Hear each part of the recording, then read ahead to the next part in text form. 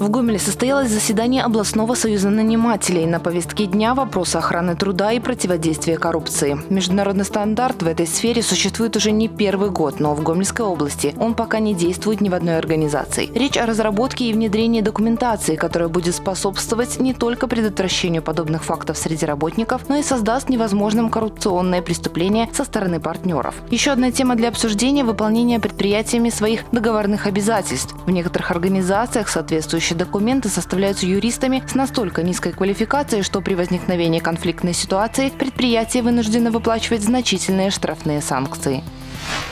Педриковой построят новую грибную базу. Основные средства будут выделены Федерации профсоюзов Беларуси. Грибная база появится на месте старого опасного здания, которое вскоре снесут. Ожидается, что в новом здании будут предусмотрены необходимые коммуникации, отопление, а также пристройка для складирования лодок. Во время строительства дети будут заниматься на плавучем эллинге и стадионе «Припять». Работы планируют закончить до зимы.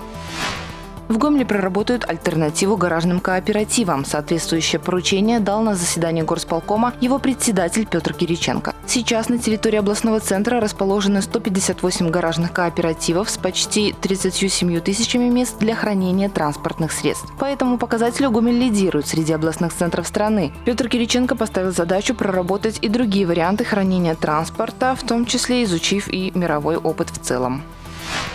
Лицей МЧС отпраздновал юбилей 15 лет со дня основания. Специализированный лицей при Университете гражданской защиты МЧС появился в Гомельской области в 2004 году. Его цель – всесторонняя поддержка детей и возрождение территорий, пострадавших от аварии на Чернобыльской АЭС. Практически каждый третий воспитанник учреждения – сирота или подросток, оставшийся без попечения родителей, а 60% обучающихся – дети из малообеспеченных, неполных и многодетных семей. Участники автопробега «Ралли мира 2019» посетили Гомель. За их плечами 8 стран Европы и тысячи километров. Стартовал пробег в княжестве Монако. Маршрут пролегал через Францию, Италию, Сан-Марино, Хорватию, Венгрию, Словакию и Польшу. На площади Восстания в Гомеле прошло чествование путешественников, после чего они отправились в Россию.